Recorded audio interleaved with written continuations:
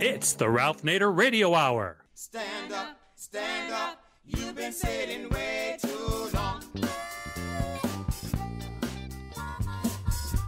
Welcome to the Ralph Nader Radio Hour. My name is Steve Skrovan, along with my co-host David Feldman and the rest of the team. Hello, David.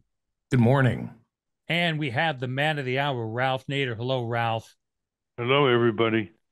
In the aftermath of Hamas's recent attacks on Israel, we've seen a lot of full throated support of Israel, even among public figures who are ordinarily critical of their policies. Most would agree that the Israeli civilians who have been killed and kidnapped right now are victims. But are they victims only of Hamas? Or are they also the latest victims of the brutal policies of their own country's far right leadership? And is it misguided to conflate compassion for Israeli victims with support for the Israeli military? Today on the program, we welcome Israeli journalist Gideon Levy, who spent much of his career reporting on the plight of the Palestinians. With regard to this most recent outburst of violence, Mr. Levy has said, quote, as long as Israel continues to believe the problem of Gaza will be solved by the sword, then we will get exactly to the same place. This vicious circle will not be solved by power, not be solved by tanks, and will not be solved by troops, only by political agreement. Unquote. Now, our original plan was to speak at length with Gideon Levy about the unfolding situation in Israel and Gaza. Unfortunately, a few minutes into our conversation, he had to evacuate to a shelter. So you'll be hearing all of that as it happened. We wish him well and plan to have him back on soon to continue the discussion. Luckily, joining our discussion today is our resident international law expert and constitutional scholar, Bruce Fein. Regular listeners know Bruce as a former Justice Department lawyer from the Reagan administration and a vocal critic of America's lawless empire. We will speak to him about the American reaction to what's going on with the Israeli government and Hamas. As always, we'll check in with our relentless corporate crime reporter, Russell Mokhiber. But first, let's speak, even if it's for a few minutes, to Israeli journalist Gideon Levy. David? Gideon Levy is a Haaretz columnist and a member of the newspaper's editorial board. He is the author of the weekly Twilight Zone feature, which covers the Israeli occupation in the West Bank and Gaza over the past 25 years, as well as the writer of political editorials for the newspaper. He is the author of the book, The Punishment of Gaza. Also joining us is a friend of the show, Bruce Fein, constitutional scholar. Welcome, both of you, to the Ralph Nader Radio Hour. Thank you so much. Welcome indeed, Gideon. These are, as David said, very difficult times. And before we get to Israel, Palestine, and Gaza, I want to get your view of what the United States position has been in the last few days, and especially President Biden's short address yesterday, which remarkably ignored the ongoing slaughter, bombing, devastation of Gaza by the Israeli government and focused his compassion on the Israeli victims of the Hamas assault, which isn't exactly a statesman-like position for a president of the United States who should be looking for a ceasefire and negotiations and pushing forward for a two-state solution. But he didn't take that opportunity. How was that speech received by you and your colleagues at the Haaretz newspaper? I can't speak on their behalf. I can tell you that, first of all, in Israel, it was a great success in terms of here we have such a friendly president, Zionist president, they called him. It made the biggest headlines with the feeling that the United States is behind Israel right now in an unconditioned way. Those who are a little more critical even saw this declaration as a green light for Israel to invade Gaza, to go for a ground operation, and practically to do whatever it wants until it will get out of control. If you ask me, I think that there was something moving in his uh, speech because he seemed very sincere, but I was really, really missing the other side the Palestinians, the siege, the occupation, the apartheid. Nothing of this exists in, in his world.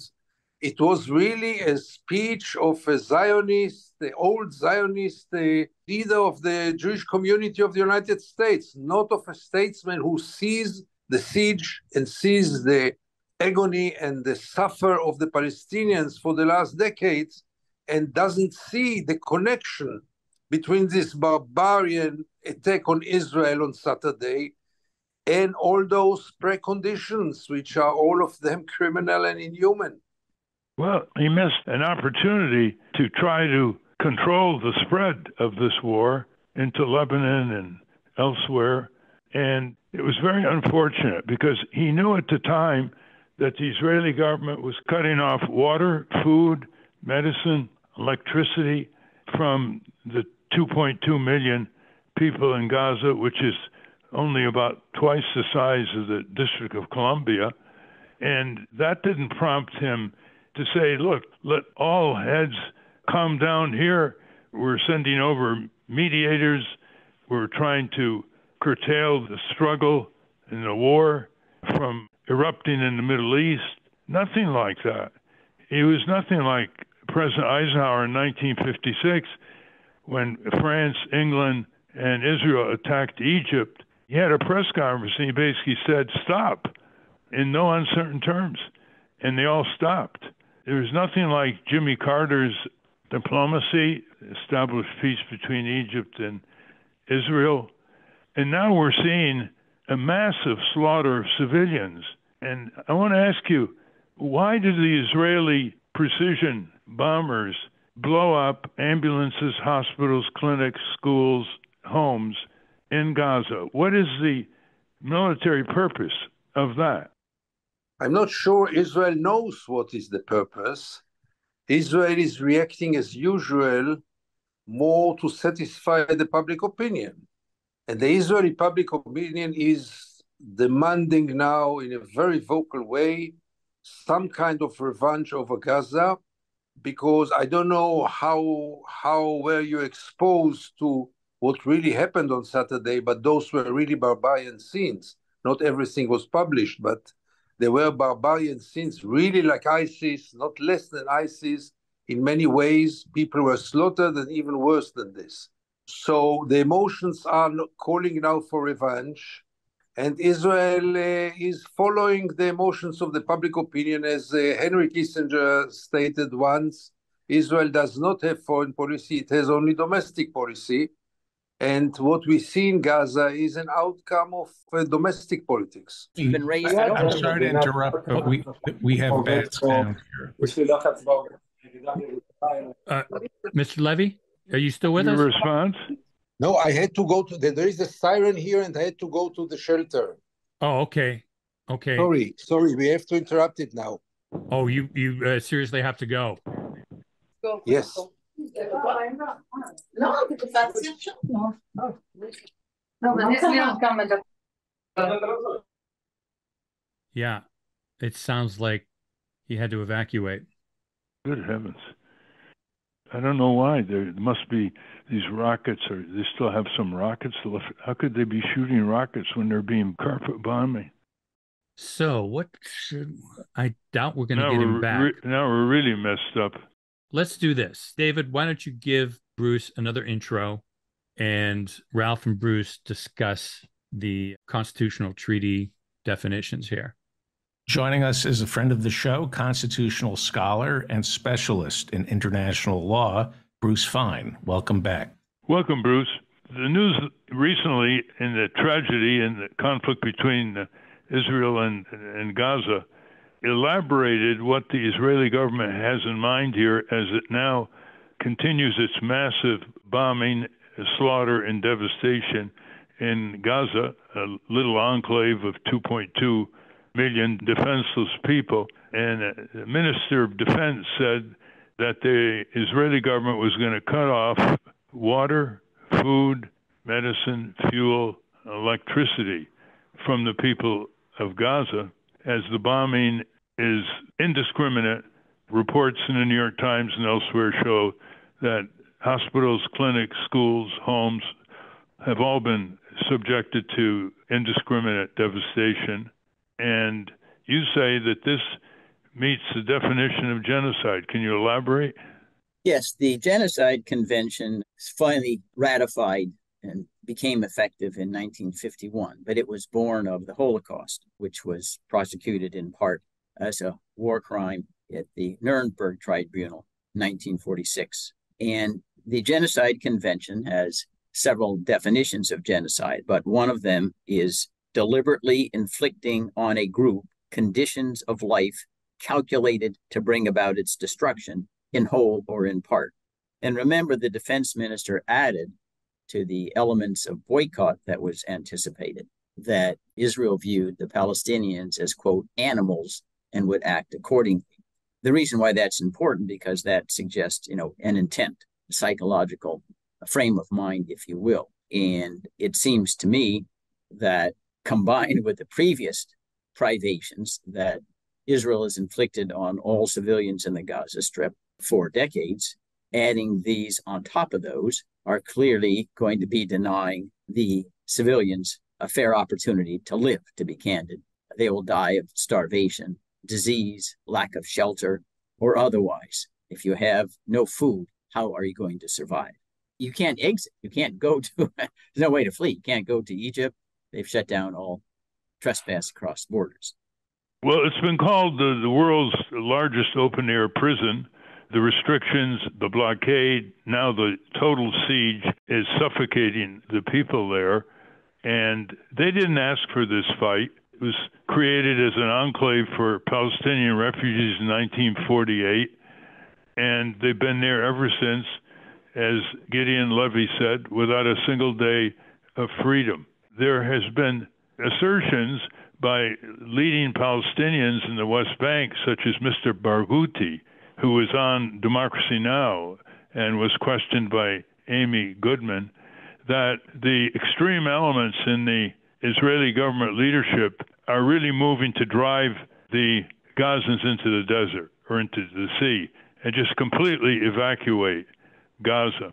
Now, given all this, what do you see as the position of the United States and Western Europe? They seem to be reacting to the brutal massacre in Israel by the Hamas fighters, but ignoring the wider slaughter that the Gazans are now being exposed to, and the possibility of involving Hezbollah and a wider conflict in the Middle East. And the Western European nations and the U.S. are simply asserting no holds barred support and more military equipment for the Israeli government it sounds like a green light for genocide. How do you view the Western European countries and the U.S. position here?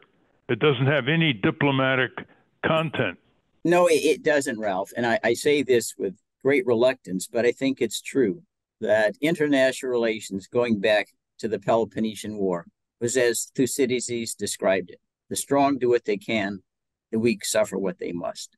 The duplicity, the double standards, leap out every single day. Take, for example, the denial of a state for Palestine.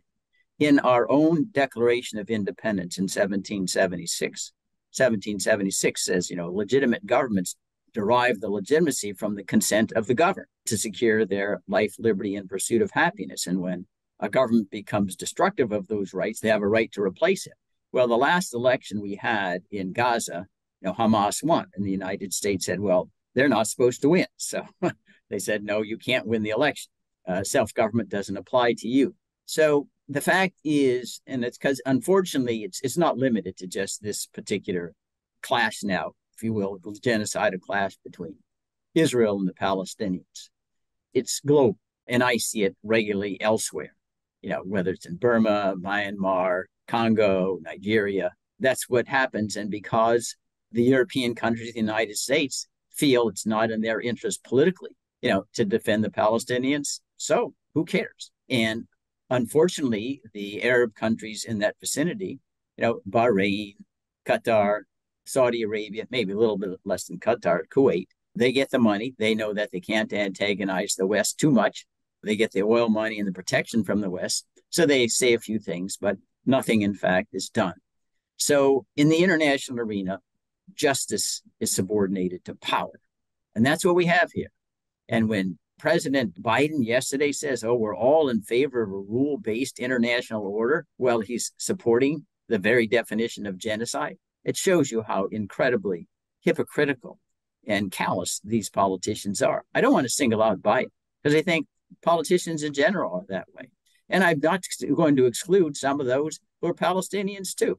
It's a universal sociopathology, you know, in the political figures. And it's very, very tragic because who loses? The peaceful civilians who want nothing more than a better life and an opportunity to develop their faculties and have families.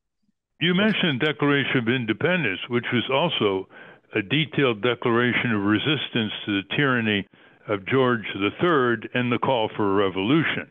Now, American politicians constantly say Israel has a right to defend itself, as any nation does. They've never said the Palestinians have a right to defend themselves. And who is the oppressor? Who is the occupier? Who's yeah. stealing the land? Who's invading the area of West Bank at will, smashing houses, killing people, and engaging in a blockade? It's Israel. So if Israel has a right to defend itself, all the more Palestine has a right to defend itself against illegal occupation of the remnant of the original Palestine, which in the West Bank amounts to about 22% of the original Palestine.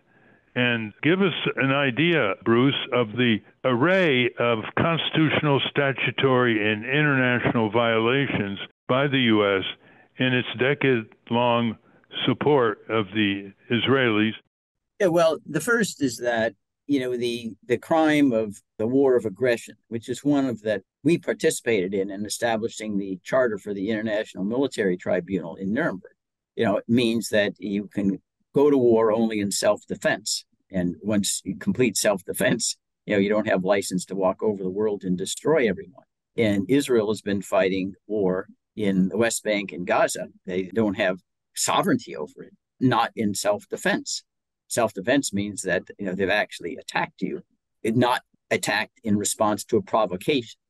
And the United States has gone out of its way to say, okay, well, we'll agree that we will not dispute, you know, your sovereignty. Although if the Israelis had sovereignty over the West Bank, they'd have civilian law rather than military law being applied to the Arabs. But it's military law that applies.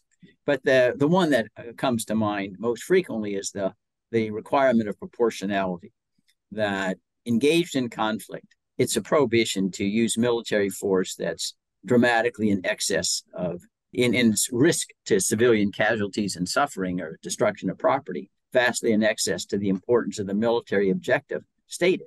And when you had asked uh, Gideon Levy, well, what's the military objective right now in Gaza? He said he didn't think there was a military objective other than not Miller, there was just a political objective to propitiate the anger of the Israelis who see, you know, their loved ones lost, killed. I'm not going to deny that there's not violence on the other side as well. You know, this is this is not a case of saints battling each other, but that's what he said. And so you're supposed to limit the magnitude of the violence proportionate to the importance of the military objective. I don't know whether there's any military objective that looks, you know, to an end game. The military people always tell you you can't kill your way out of a war. I don't think Israel's learned that lesson. I think that's all they have in store here.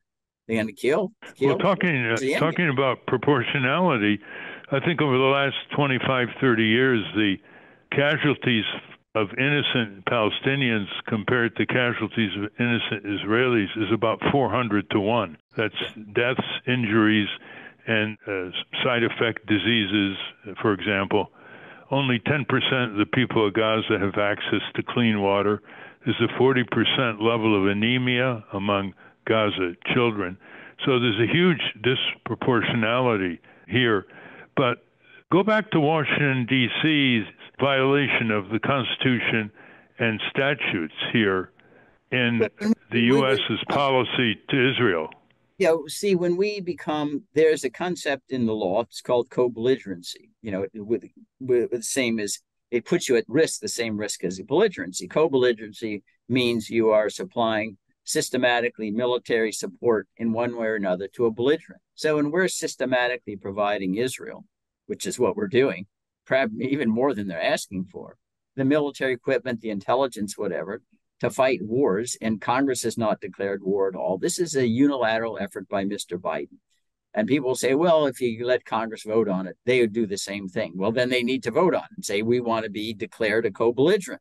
We'll accept the risk of being a co belligerent. We can be attacked because when you're a co belligerent, you're at war and you're subject to attack like any other belligerent by the opposition, by the enemy, so to speak. So all these things continue forward without the congressional involvement whatsoever. The Congress, unfortunately, they unilaterally have surrendered their war power long time ago because they don't want to vote on. They just want to have all the responsibility in the present. They derelict. We could be primaried if we have to vote on this issue. It's controversial, so let us abdicate our responsibilities. So it's a messed up system in the United States. And we pay no attention, as I say, to international law. How could we, at the one time, say under Condoleezza Rice, we needed, we said we need elections in Gaza. And so they had elections, and Hamas one said, "Well, we're not going to accept the, the outcome of the election because we don't like it." Really, that's promoting self-government. I mean, it's such a joke. And moreover, uh, you could see why I believe that the Israelis could be emboldened because you know their boycott, the excessive use of force to damage civilians, is just a takeoff of what the United States has set as an example. And we all can remember, perhaps, the most infamous statement that then Secretary of State Madeleine Albright made on 60 Minutes to Lesley Stahl when she was confronted with the fact the embargo, the boycott the United States was inflicting on Iraq had killed 500,000 children, more than had died at Hiroshima and Nagasaki. And her response, it was worth it. You know, okay. and what was our military objective? I don't, nobody even knows. We're still there now. We have no clue what we're doing. So we are a very, very bad example ourselves in trying to limit you know, other countries where you have to act according to proportionality. Another example, under Donald Trump, he dropped the mother of all bombs in Afghanistan just to show how strong we could be. What was the military objective? Nothing other than to flex his muscles and see I'm a tough guy, which is clearly another war crime. So it puts us in a very awkward position to go hold Israel to a standard that we don't ever apply to ourselves. Let's go back to the stream of military equipment supplied by the United States, the most modern military equipment, fighter jets and artillery and all kinds of other military arms to Israel. Under federal law, the U.S. is banned from selling or donating military equipment to countries who use this equipment offensively instead of defensively. Describe that situation over the years. Well, we've simply just ignored the limitation. And remember, unfortunately, the, the laws are enforced by the executive branch. Uh, it's supposed to take care that the laws be faithfully enforced rather than sabotaged. But that same issue arose with the Israeli incursion in Lebanon in 19, I believe, 80, 81, 82 with Alexander Haig, and Israel was using the weapons, the cluster bombs we had given them offensively in southern Lebanon. So now we'll just turn around and say, oh, but it was all defensive. No, none of it was offensive because it was all in response to the attack of the Palestinians. But as we well know, Ralph, in law, if you have provoked an attack on yourself and then you can't then kill in self defense after you're the one who provoked the attack. I mean, that's common in our law of homicide. And if you create conditions of life that are intolerable, no one would, you don't find that you have an immigration problem into Gaza, you know, wanting people wanting to live there because the conditions are so harsh and stark. You know, what do they think is going to happen? There's no hope, there's nothing. And then you end up with this kind of violent response. Let me read a couple short sentences from Gideon Levy's recent article in Haaretz, the Israeli newspaper. He says, quote, Gaza, most of whose residents are refugees created by Israel. Gaza, which has never known a single day of freedom since 1948. Prime Minister Benjamin Netanyahu bears very great responsibility for what happened, and he must pay the price. But it didn't start with him, and it won't end after he goes. We now have to cry bitterly for the Israeli victims, but we should also cry for Gaza. The Hamas fighters who, with low tech equipment, breached the barrier and moved into Israel and attacked the villages. Many of those fighters had lost members of their own family in prior Israeli attacks, especially the giant one in 2014 and 2008. In 2014, over 400 children in Gaza were killed. And these fighters are now all dead, according to the Israeli government, 1,500 of them. So it was more like a suicide attack. They knew they were going to die, and they were going to take Israelis with them. And it was a cry by Hamas to the world that you are not going to ignore the Palestinian question as you are moving to establish relations between Saudi Arabia and Israel and basically circumventing the 56 years of occupation militarily and otherwise by Israel, the West Bank, and Gaza. And so what we've seen here is the result of an abandonment by Congress completely to oversee this situation over the years. All they do is pass resolutions with over 90% of the members of Congress reacting to AIPAC and others, while the Israelis are slaughtering Palestinian civilians and say, go for it. And I think Biden's statement yesterday was a very dangerous green light to say to the Israeli government, you can do whatever you want, and we're going to supply you with whatever you want in terms of weapons. Your response? Well, I think that's accurate, Ralph. And I think it shows that even foreign policy is driven by domestic considerations. I think Biden's worried about 2024. He wants to get as many votes as he can. And he's worried that Trump is the nominee. You know, he moved the embassy to Jerusalem, and you know he's got to be worried about the migration of votes or the continuing votes from some Jews to Trump. It's a political calculation. Uh, it's totally divorced from reality on the ground in the Middle East, in Gaza, and in Israel. And that's how Congress reacts as well.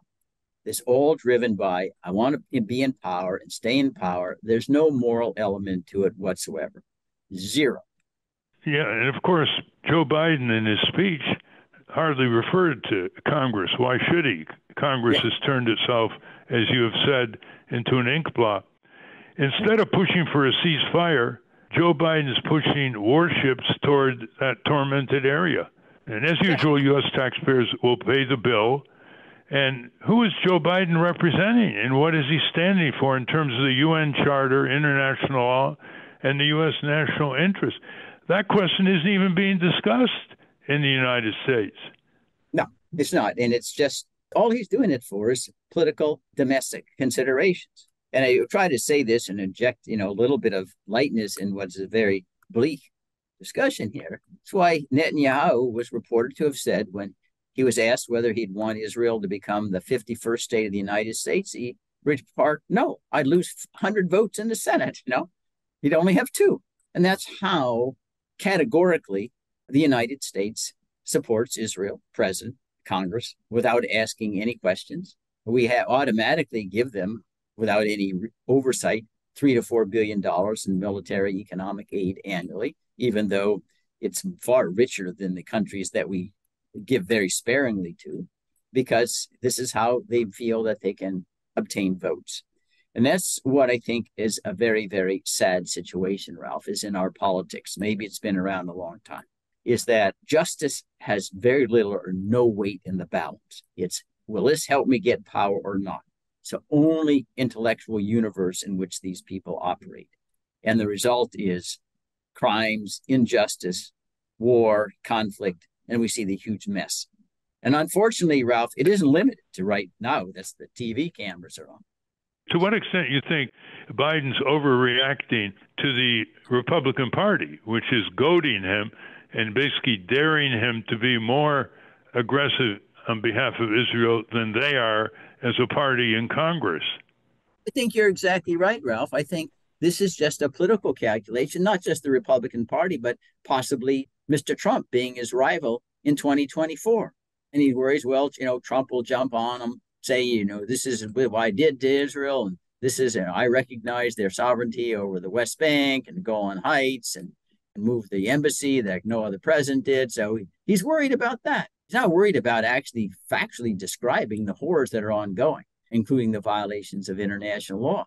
And it's so disgusting to have him repeat, well, we're all in favor of a rule based international order as he violates the rule based international order that he currently praises. I mean, really? You have no embarrassment about saying that as you're supporting you know, genocidal conditions of life to destroy a group and you're championing a rule based international order? And I say the other irony here, and I say this without trying to at all suggest that compassion is needed for all the suffering on both the Israeli and the Palestinian side, is that the genocide, it was born of the Holocaust. If anybody should be sensitive to the Genocide Convention more than anyone else, it would be Israel. But unfortunately, you know, well, that really doesn't really come into play very. Over the years, the vituperative talk by Israeli high officials toward the Palestinians is really genocidal talk. They talk to them as vermin, snakes, animals have to be destroyed, evicted. All this is a matter of record. You're talking about ministers in the Israeli government, you're talking about heads of state. It's interesting that the founder of Israel, David Ben Gurion, didn't use words like that against the Palestinians. He was pretty frank. Coming out of the Holocaust, he was going to establish a homeland in Palestine no matter what, no matter what the inconvenience is to the inhabitants there. And he once said to Nahum Goldmann, who was the head of the World Zionist Organization, he said, It was their land and we took it. He's very candid. This is a widely reported quote. But now there isn't any kind of conciliation given the overwhelming superpower of Israel over the defenseless Palestinians.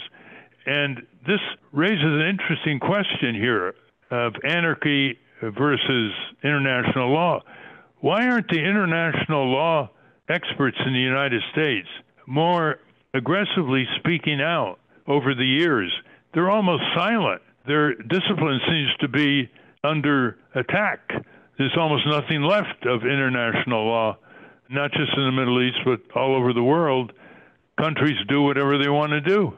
Why are the international law specialists not connecting with each other and making statements about the wreckage here by governments who think they can do whatever they want?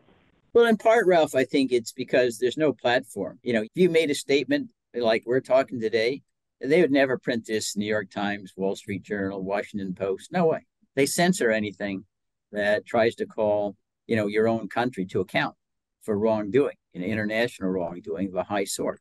So there's you have basically you have no audience. And the second thing is that it's unfortunate that international law says it's honored in the breach rather the occurrence. They write down all these norms, but because you know we don't have one world sovereignty, there's no one who enforces them.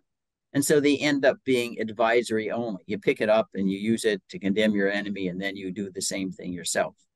And that's the world that we live in because we do not have any culture. We don't have any unwritten restraints on power to do whatever it can get away with. And people will do whatever they feel, no matter what the moral scruples dictate otherwise, to gain power, to fight and get authority over other people. The unfortunate thing is the horrors in the Middle East right now, they're not unique. I deal with it, you know, look in the Congo, look in Myanmar. I you know, I went recently over to the into Katuli in Burma. You know, they bomb refugee camps there too. And it's not just there. They you got you got genocide against the Rohingya.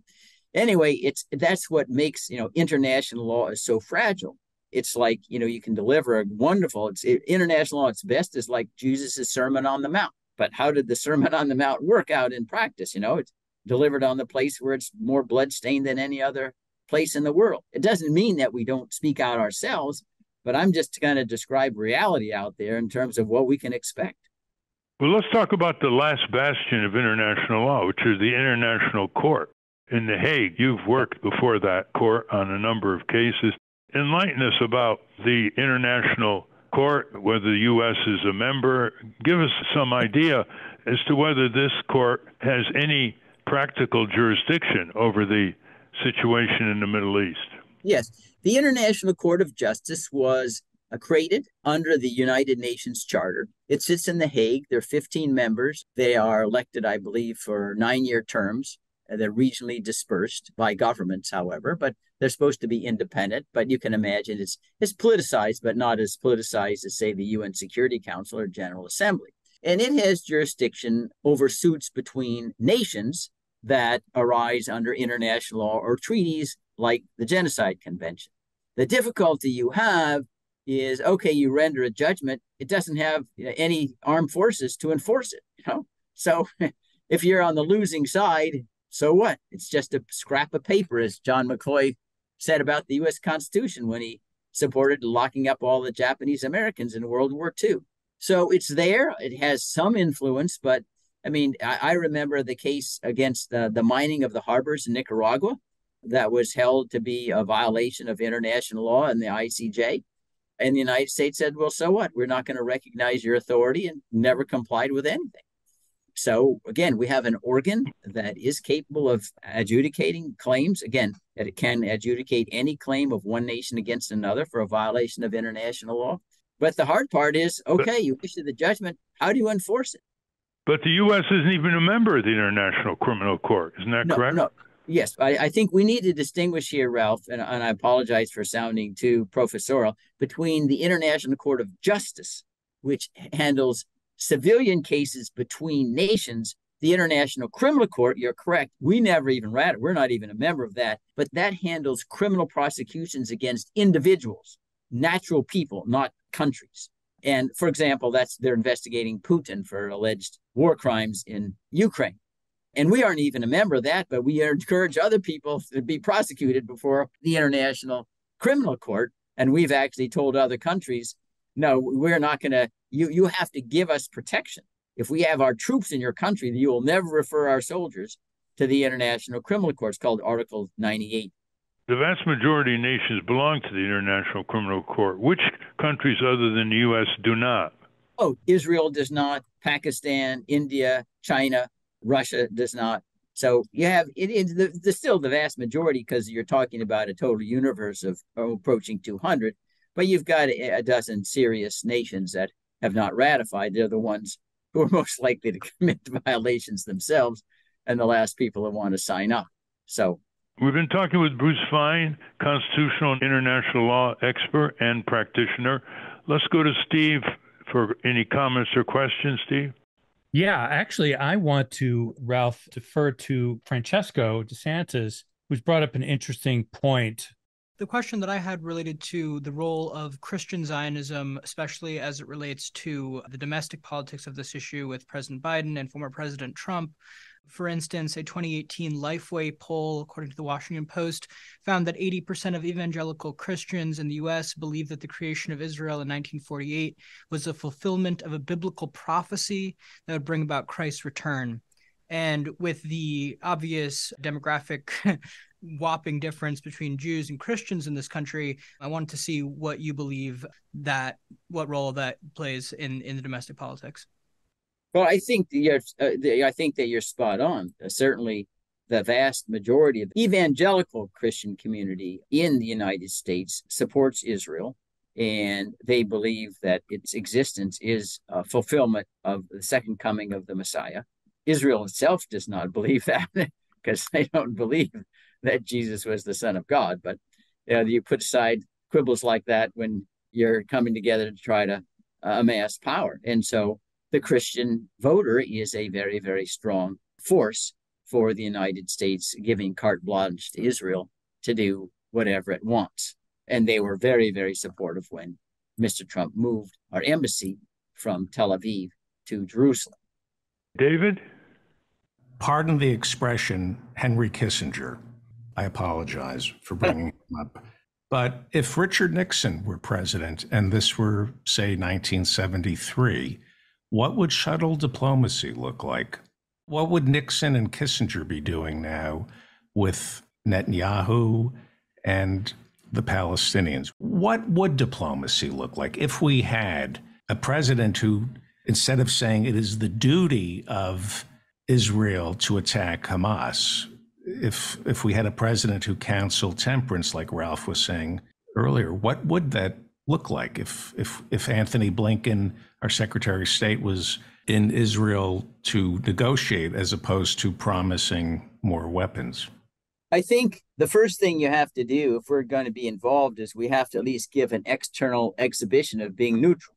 I mean, right now, the Palestinians would never say we're neutral. They just look, uh, turn the TV on, says, "Why we're turning diplomacy on? We already have we're, we're negotiating against ourselves."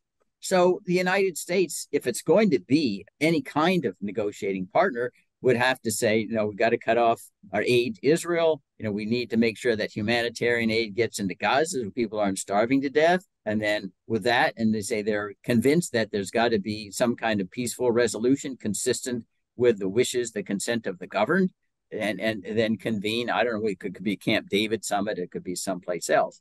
But I think we do have the resources that can have pressure. Uh, that that enabled Carter, for example, to negotiate the Camp David agreement between Egypt and Israel. But unless we ourselves are able demonstrably to demonstrate we're neutral, there's no there's there's no first step to even begin the diplomacy. Hannah? Thank you.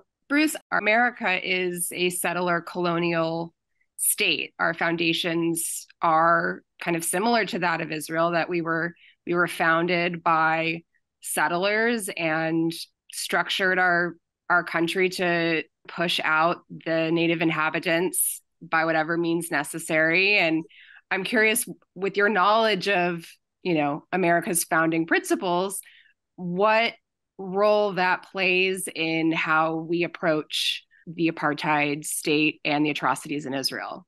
Yeah, it's it's a wonderful question, and it's not just you know it took like uh, 600 years to disavow what was called the doctrine of discovery, announced by the Pope you know, hundreds of years ago when they're trying to file the Western world would divide up, you know, all the other species.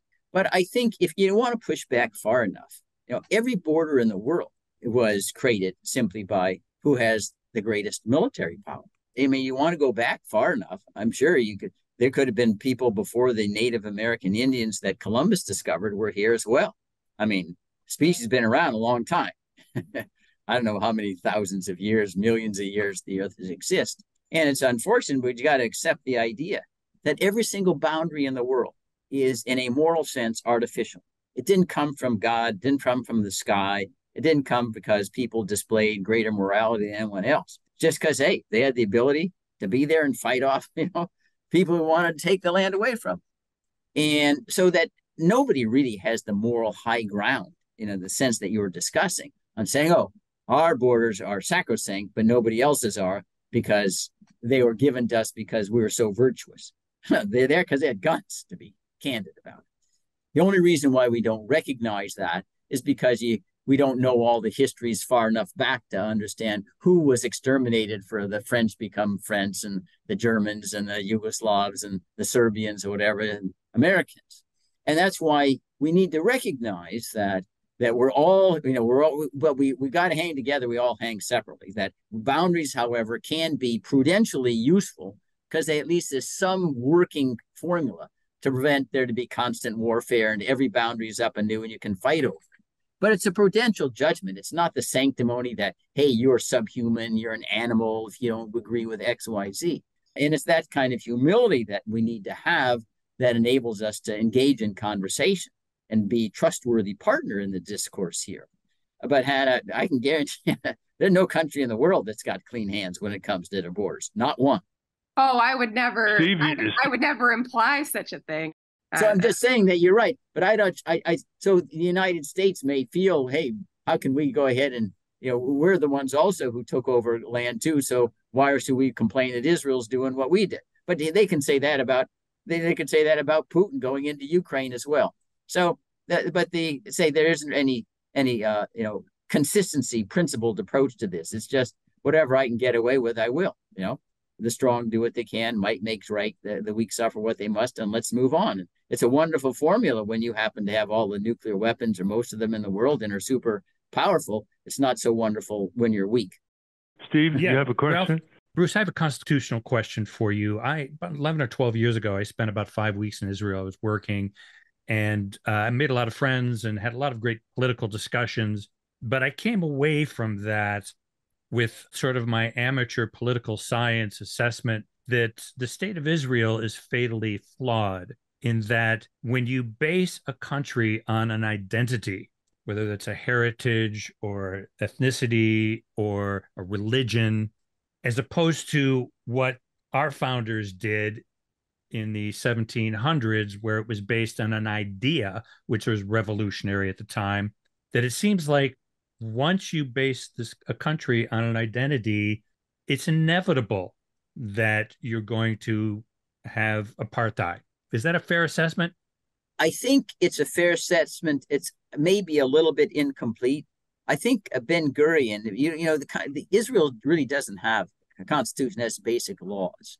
But obviously, Ben Gurion thought he country needed there needed to be a country where a Jew could come as refuge if there was another attempted Holocaust. But he didn't attempt to exclude others. Certainly not face. That's why 20% of the Israeli population, as we speak, is 20% are Arab. They're not Jews. But insofar as we look at their legal, you know, their infrastructure, their unwritten rules, if you're not a Jew there, you're a second class citizen you know, you're not necessarily conscripted into the army. You know, they don't do the policing the same. So it's a little bit like, you know, blacks in the United States during Jim Crow. Okay, they were technically Americans, but they really didn't enjoy, you know, citizenship if you were white.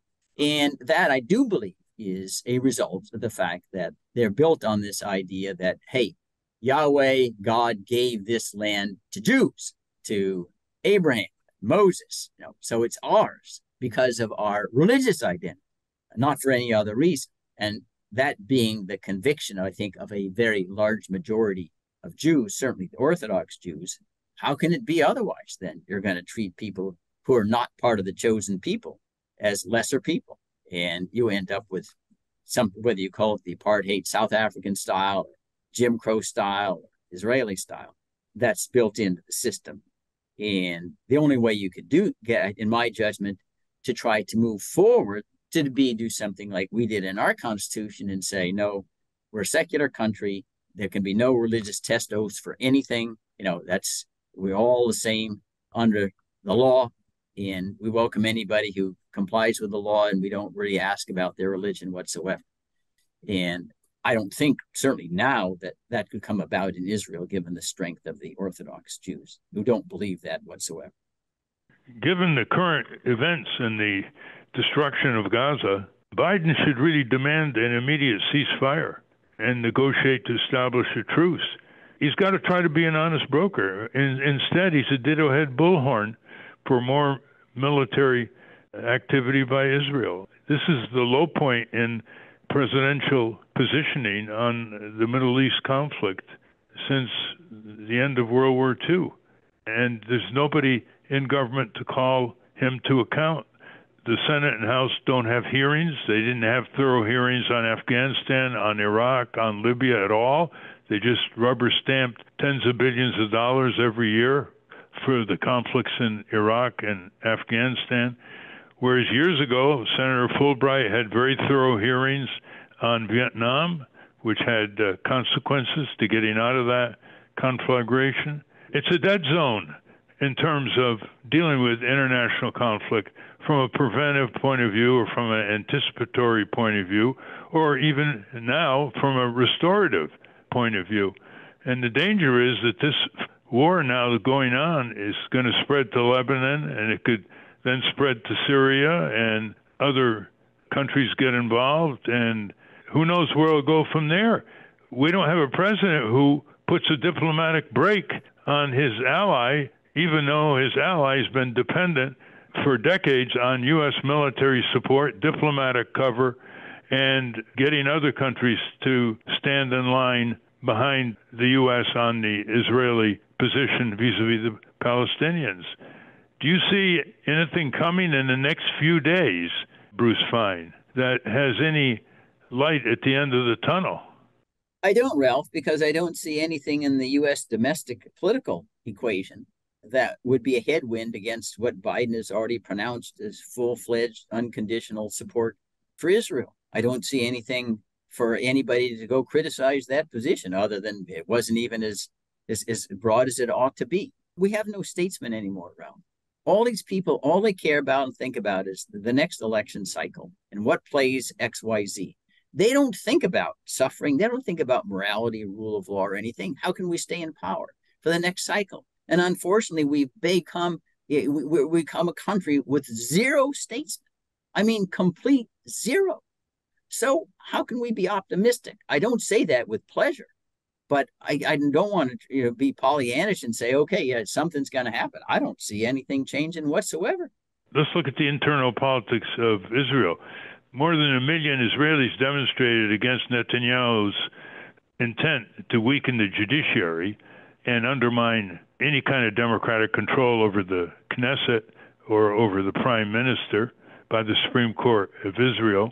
Now, although everybody's in solidarity because of the assault on the villages in southern Israel, there's going to start the process of recrimination about how this pompous prime minister's intelligent failure led to this situation. And there may be a Knesset vote, perhaps of no confidence. Isn't that the system they operate under? Couldn't they possibly bring Netanyahu down, form a new government? Ralph, just today, the opposition joined forces with Netanyahu. They're having now a government of national unity. So that kind of put the kibosh on. And you talk about the Knesset. When a declaration of war was made, it was made solely by the executive. The Knesset had no voice in it whatsoever. But as we speak right now, Israel has now, the politically, has now unified. They have a, a is like you know Britain during World War II. They had a, they now have a government of national unity. But unlike World War II, Gaza will be in ruins in a few days, and then the recriminations will start. There's a huge boiling anger in Israel about the intelligence failures. They put that at the feet of Prime Minister Netanyahu. So it could unravel quickly after the initial solidarity, which is not surprising. Yeah, I'm just saying right now, politically, from what we can see, is that you know the all the the, the opposition to Netanyahu has basically surrendered and said, okay, we're part of your government. So, and that just happened today. So I don't know. I mean, it could could come unravel because politics, we know, everybody knows, is very fragile, and people, you know, after even the Yom Kippur War turned against Egypt, you know, Golda Meir had to step down uh, because there's similar intelligence failure. That could happen here. But right now, I'm not optimistic that it will. There's still an opportunity here for the people to register their opposition. And then the remaining challenge is to get that congressional sentiment turned around by people who are fed up with endless wars and criminal wars of aggression to reach the White House, which is a runaway imperial presidency under both Democrat and Republican presidents we never know, you know, you don't know it in advance, you know, whether your protest is going to succeed. We, you know, we don't, we're not clairvoyant. But I think that the high water mark of, of being a citizen is standing up and protesting, even if it doesn't result in anything. I go back and think, I started before. The very first person who said, you know, slavery is bad, probably got wiped out. We don't know who they were. Somebody had to start the conversation, even though it took a long time before it finally was honored first person who said, hey, you know, women aren't chattel. Somebody has to start the conversation. And that's why, even if in the short run, hey, it looks like we're really climbing a steep hill, we're at the bottom of Mount Everest, somebody's got to do it. And at least we in the United States, with our heritage, we're the ones as citizens to say it. Maybe it doesn't result in anything. If we all do it, it is going to result in something. It's not hopeless. But we are speaking to posterity, even if the current generation turns a deaf ear, and that makes it worth it. It doesn't even require all of us, just a small minority of active citizens in congressional districts supported by public opinion, as I've said numerous times, can turn Congress around. If they know what they're talking about and they persist, that's what happened eventually with the Vietnam War. Public opinion turned against it, and Congress said to the presidency, we're not giving you any more money. They cut off appropriations, which they haven't done since on Iraq and Afghanistan, Libya, Ukraine, whatever. They're not using the appropriation power. They're basically saying to the president, we'll give you whatever you want. What makes it even more anguishing, Ralph, is that they have these special inspectors general who in Afghanistan, they come back with these reports saying the, the corruption is massive. So Congress sees all, all the money going down the drain and they still do nothing. They still keep appropriating. They, despite all SIGARs, that's what it's called, the Special Inspector General for Afghanistan, Pakistan, and Iraq. When even when they get the report showing staggering tens of billions wasted money. They still kept appropriating 300 million bucks every single day. Didn't stop one. Well, they day. went one. They went one step further. The Congress and did something. They affirmatively rejected a proposal in Congress to establish an inspector general for the forthcoming tens of billions of dollars to Ukraine. Bruce, in the context of our discussion, which of your books would you like our listeners to read? Well, I mean, the, the two, the best American Empire before the fall and Constitutional Peril. They're the ones that lay out exactly how far we've fallen, you know. We've been talking with Bruce Fein, constitutional and international law expert. Thank you very much for coming on once again, Bruce, and I'm sure the subject matter we discussed will be continued. Unfortunately, you're exactly right. Probably come back in two months and probably talking about the same things. We've been speaking with Gideon Levy and Bruce Fein. We will link to their work at ralphnaderradiohour.com. Now it's time to hear from our corporate crime reporter, Russell Mokhiber. From the National Press Building in Washington, D.C., this is your Corporate Crime Reporter Morning Minute for Friday, October 13, 2023. I'm Russell Mokhiber. More than halfway through his term, President Biden has yet to nominate an administrator to lead the Pipeline and Hazardous Material Safety Administration, or PHMSA, within the Department of Transportation. That's according to a report from the American Prospect. In the aftermath of the Norfolk Southern train derailment, PHMSA played an indispensable role in keeping America safe from toxic chemicals. The agency, though small, is responsible for regulating pipelines and overseeing transportation of many dangerous materials throughout the country, including flammable fuels, radioactive substances, and chemicals. Yet, the post at the agency has been vacant for years now. For the Corporate Crime Reporter, I'm Russell Mokhiber. Thank you, Russell. Welcome back to the Ralph Nader Radio Hour with Steve Skrovan, along with David Feldman, Hannah, Francesco, Ralph. The whole team's here. But that's our show. I want to thank our guests again, Gideon Levy and Bruce Fein. For those of you listening on the radio, we're going to cut out now. For you podcast listeners, stay tuned for some bonus material we call the Wrap Up, featuring Francesco DeSantis. And in case you haven't heard, a transcript of this program will appear on the Ralph Nader Radio Hour Substack site soon after the episode is posted. Join us next week on the Ralph Nader Radio Hour. Thank you, Ralph. Thank you, everybody. It's good we had uh, Bruce Fein on our show. He's coming out with a new report called Congressional Surrender, a tutorial for members of Congress and their staff. You know